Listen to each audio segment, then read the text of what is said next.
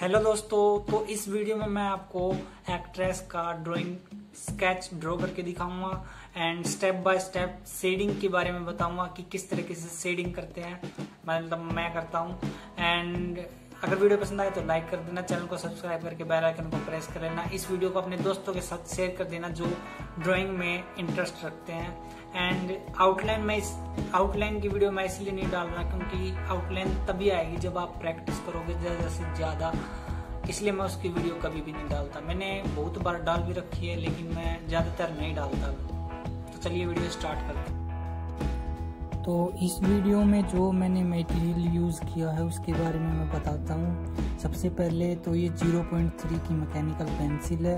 जिससे मैंने ये ड्रॉ किया है आउटलाइन ये से ड्रॉ किया एंड टेन बी पेंसिल के लिए सबसे डार्क चीज़ को ड्रॉ करने के लिए ली है।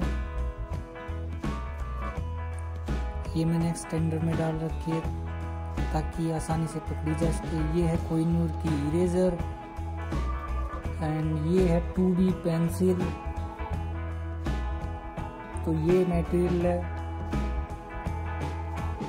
ड्रॉ करने के लिए मैं सबसे पहले हेयर ड्रॉ करता हूँ एंड मैं उन चीज़, उन पार्टों को सबसे पहले ड्रॉ करने की कोशिश करता हूँ जो मेरे हाथ से दूर है।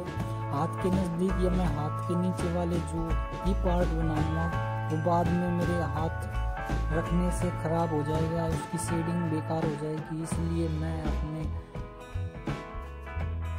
हाथ से जितनी भी चीज़ें दूर होती हैं, उनको पहले ड्रॉ करता हूँ।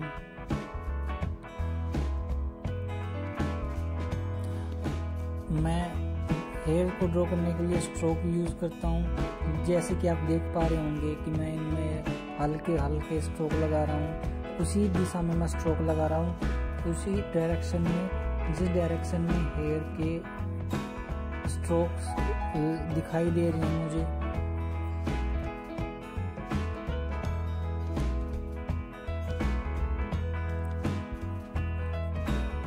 और मैं अपने जितने भी मुझसे जो भी शेडिंग के जो भी पार्ट मुझसे दूर मतलब मेरे हाथ से दूर होते हैं, सबसे पहले उन्हें ड्रॉ करने की कोशिश करता हूँ।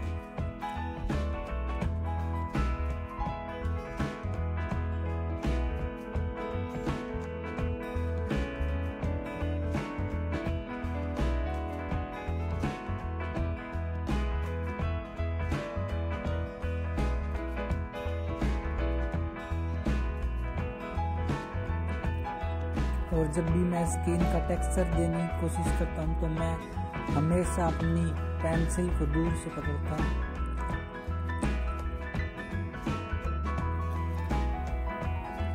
वाइट पेंसिल का मैं इसलिए यूज़ करता हूँ, जब भी मेरे से मिस्टेक होती है या फिर मुझे शेडिंग में मेरी थोड़ी भी मिस्टेक होती है, तब मैं उसका यूज़ करता हूँ। एंड कहीं पर ज़्यादा हाईलाइट नहीं हुआ उसे हाईलाइट करने के लिए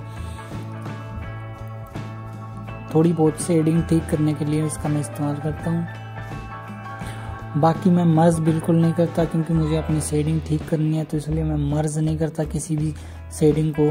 ब्लेंडर से